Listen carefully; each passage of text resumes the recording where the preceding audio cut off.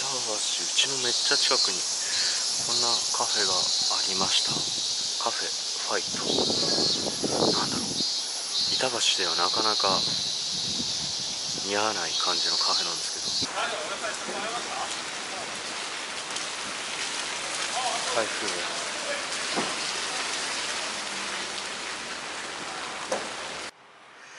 うちも植物屋さんになりました。前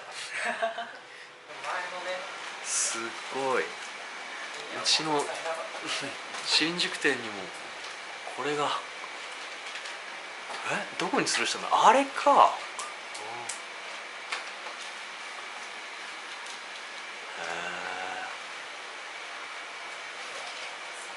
ちょっと取り合いになって。取り合いで。はい。本日の一本。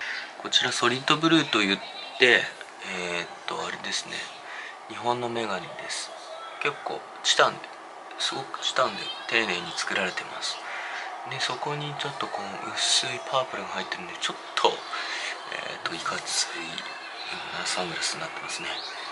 あと上だけなんですね。これブローっていうラインなんですけどブローなんで上だけのメガネっていうのはちょっとこういかつかったり冷たい感じになります。さらに色が入って